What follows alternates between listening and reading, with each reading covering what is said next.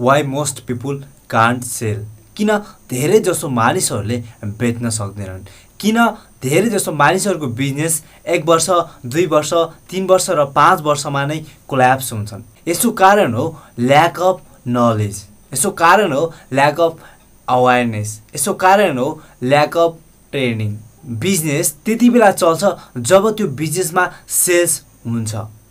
जब कुनै अर्गनाइजेसनमा सेल्स नै हुँदैन भने त्यो अर्गनाइजेसन लामो समयसम्म चल्न सक्दैन। अर्गनाइजेसनको ब्याकबोन भनेकै सेल्स हो।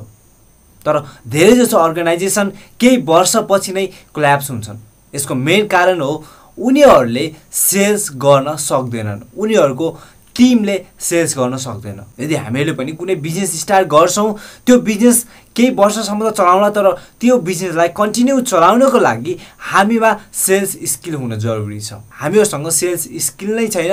हामीहरूले सेल्स सम्बन्धी कुनै लर्निङ नै लिएका छैनौँ भने हामीहरूले सेल्स कसरी गर्न सकौँला र हाम्रो बिजनेस कसरी रन होला? धेरै जसो मानिसहरूले सेल्स गर्न नसक्नुको मुख्य कारण भनेकै ल्याक अफ नलेज उनीहरूसँग सेल्स सम्बन्धी कुनै नलेज नै हुँदैन।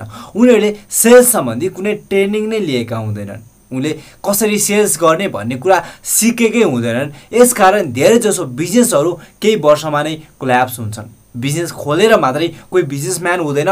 त्यो बिजनेसमा भएको प्रोडक्ट सर्भिस आइडियालाई सेल गर्न सक्नुपर्छ। बजारमा बेच्न सक्नुपर्छ। जो व्यक्तिले आफ्नो आइडिया सर्भिस र प्रोडक्टलाई बजारमा गजबसँग बेच्न सक्छ त्यो व्यक्तिको कम्पनी नै हाई लेभलमा जान्छ। धेरै मानिसहरूले बिक्री गर्न नसक्नुको मुख्य कारण नै उनीहरूसँग सेल्स सम्बन्धी ट्रेनिङ नभएको कारणले हो। उनीहरूलाई सेल्स सम्बन्धी नलेज नभएको कारणले हो। जस्तो इक्जाम्पल एउटा व्यक्तिलाई तपाईँले कार चलाउन दिनुभयो। त्यो व्यक्तिले कार स्टार्ट गर्यो एक्सिडेन्टर दबायो र त्यो कार भित्तामा गएर ठोकियो। त्यो कार एक्सिडेन्ट भयो। यो किन त? किनभने त्यो व्यक्तिले कार चलाउन सिकेकै छैन त्यो व्यक्तिले कार चलाउन ट्रेनिङ नै लिएको छैन भने त्यो व्यक्तिले कसरी कार चलाउन सक्ला? कार स्टार्ट त जहिले पनि गर्न सक्छ एक्सिलेटर त जहिले पनि दबाउन सक्छ।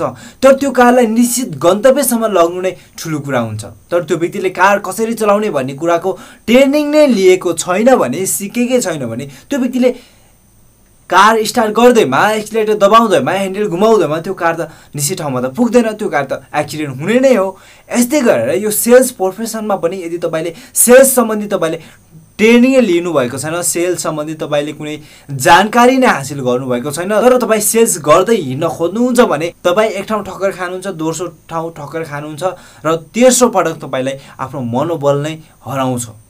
मैले त सेल्स गर्नै नसक्दो रहेछु। बरु म मार्केटिङ गर्छु म सेल्स गर्न सक्दैन भन्ने कुरामा तपाईँ पुग्नुहुन्छ।